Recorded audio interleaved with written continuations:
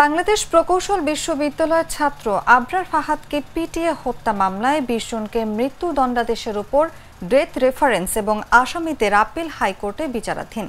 Supreme কোর্টের অবকাশ শেষে এ বিষয়ে শুনানি হতে পারে বলে জানা গেছে। দু হাজার উনিশ সালের ছয় অক্টোবর রাতে বুয়েটের শেরে বাংলা হলে আবরারকে পিটিয়ে হত্যা করে দুর্বৃত্তরা।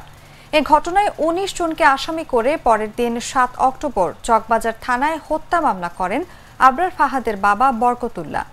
আবরার হত্যা মামলায় বিশ জনকে মৃত্যুদণ্ড ও পাঁচ জনকে যাবজ্জীবন কারাদণ্ড দেন আদালত।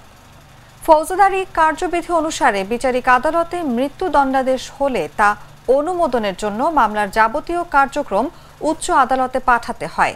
সে অনুসারে মামলার যাবতীয় কার্যক্রম দু হাজার বাইশ সালের ছয় জানুয়ারি পাঠানো হয়। পাশাপাশি কারাবন্দী আসামিরা আপিল করেছেন।